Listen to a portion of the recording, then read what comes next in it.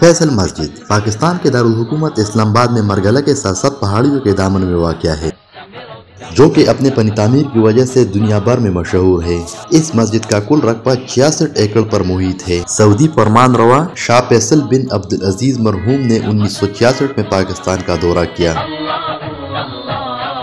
تو انہوں نے اس موقع پر مسجد کی تعمیر کی پیشکش کی اور اس مسجد کا نام ان کے نام کے ساتھ منسوخ کیا گیا۔ بعد میں مسجد کی سنگ بنیاد سعودی پر مارواں غالب بن عبدالعزیز نے انیس سو چھتر میں رکھا اور اس پر کام کا آغاز انیس سو اٹھتر میں ہوا۔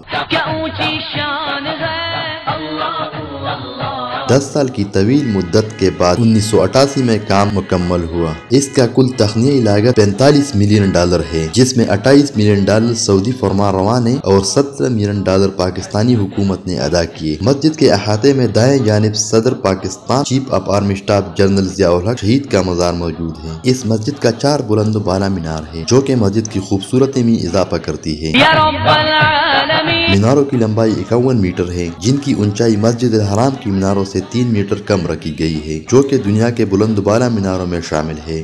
اس مسجد میں دس ہزار نمازیوں کی گنجائش موجود ہے۔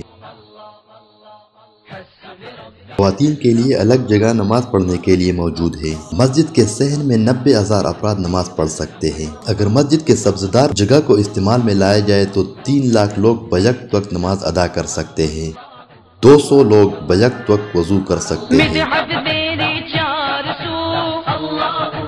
فیصل مسجد یہاں اپنے منفرد طرز تعمیر کی وجہ سے اسلام آباد کی خوبصورتی میں اضافہ کرنے کا باعث ہے۔ وہاں یہ مسجد دنیا بھر کی توجہ کا مرکز ہے۔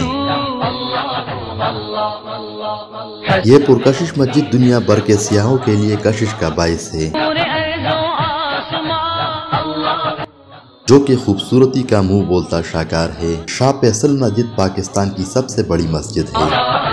تو